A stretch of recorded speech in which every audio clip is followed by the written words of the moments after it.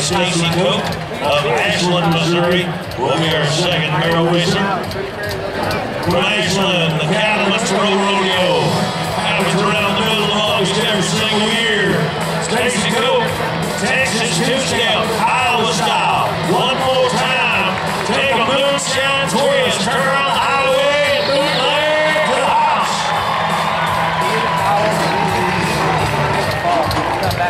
to the house.